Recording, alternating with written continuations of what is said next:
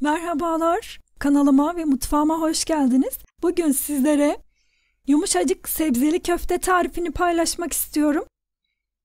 Yeni tariflerimden haberdar olabilmek için kanalıma abone olup zili tıklayıp bildirimleri açmayı unutmayınız.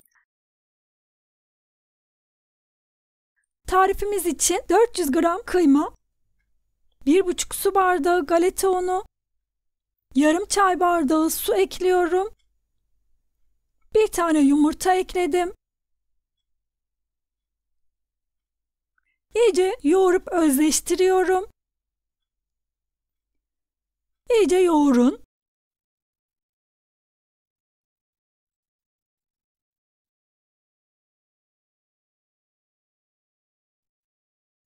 Bir tane soğan rendeledim, suyunu sıktım.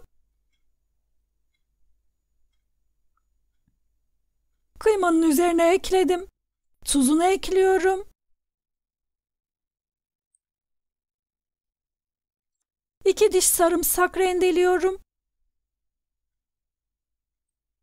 Tekrar yoğurmaya devam ediyorum.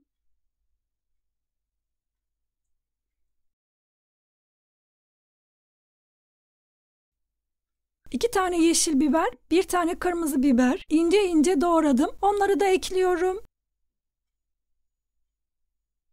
Bir çay kaşığı kimyon,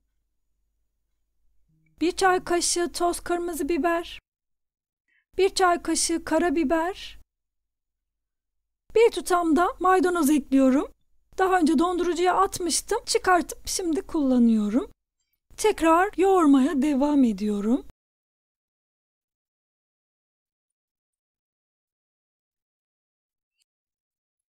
70-80 gram kadar rendelenmiş kaşar peyniri ekledim. İyice yoğuruyorum.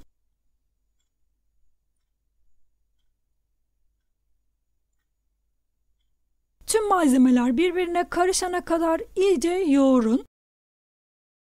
Köfte hamurumu iyice yoğurdum. Tüm malzemeler birbirine güzelce karıştı. Bir kaseye biraz su aldım. Elimi ıslatıp köftelerin şeklini veriyorum. Ceviz büyüklüğünde bir parça kopardım. Yuvarlayıp avuç içimde bastırdım. Köfteleri bu şekilde hazırlıyorum.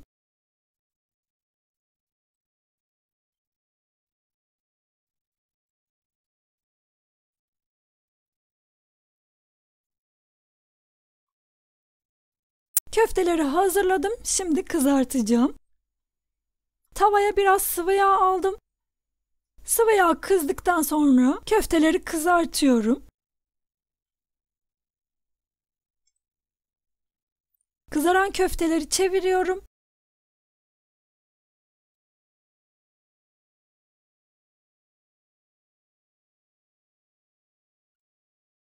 Kızaran köfteleri peçete serilmiş bir tabağın üzerine aldım. Tüm köfteleri kızartıp hazırlıyorum.